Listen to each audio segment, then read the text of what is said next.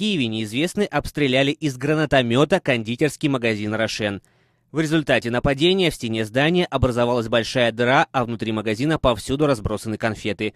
Сейчас на месте происшествия работают сотрудники правоохранительных органов, которые выясняют все обстоятельства случившегося. По предварительным данным, никто в результате инцидента не пострадал.